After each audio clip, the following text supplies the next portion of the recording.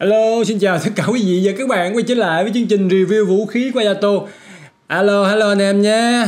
Chung tính nói kiểu kia mà ngượng miệng quá. Rồi, đây là cái video mình review cái cái kiếm thiên không. À, bữa mình làm thiếu ha. Nay mình bổ sung vô. Xong đó cái mình sẽ gom lại để mình coi coi cái cây nào cho ra lượng sát thương to nhất. Hôm nay là video về thiên không kiếm. Chỉ số lần này thì mình xuyên mình để cái chỉ số trong màn hình luôn đó.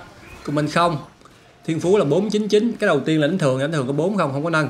Hay cái kia 99 rồi Rít 46 Rít Đam là 198 cũng khá là to nha sát thương to có sát thương á. Lúc đầu thì mình chỉ review cho nó đủ bộ thôi tại vì mình nghĩ là ô cái thiên không kiếm này thì nó lại là có hiệu quả nào mà cũng ai tôi không cần. Đúng là không cần thiệt nhưng mà quýnh có sát thương các bạn quýnh sát thương cũng rất là tốt. Chứ kể nó thêm được cái gọi là cái trắng trắng thấy không? Năm trắng 757 đó. Đó, đó là cái cái dòng tinh luyện của cái, cái thiên không kiếm không nhiều nhưng mà có đơn không? Cũng là chút sát thương.